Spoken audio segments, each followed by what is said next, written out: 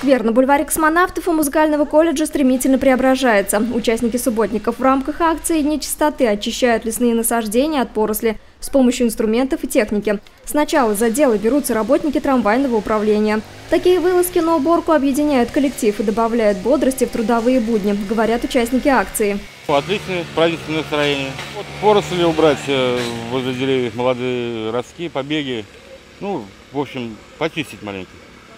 Траву потихоньку убираем, производим порядок. А еще радуют результаты труда, когда общий дом становится лучше на глазах. Разница, что называется, на лицом. Вот так выглядит часть лесопарковой зоны с кустарником. А вот так выглядит кусочек, где уборка уже прошла. Здесь все соответствует благоустроенному городскому ландшафту.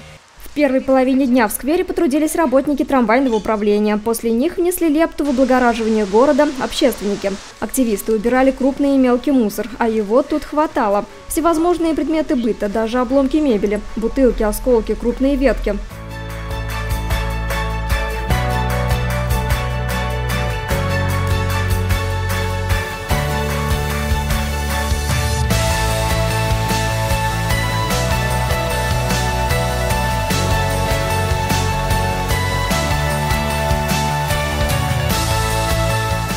Еще один важный участок нашего общего дома стал более чистым и уютным, а участники акции продолжают хорошую традицию и подают отличный пример другим неравнодушным горожанам.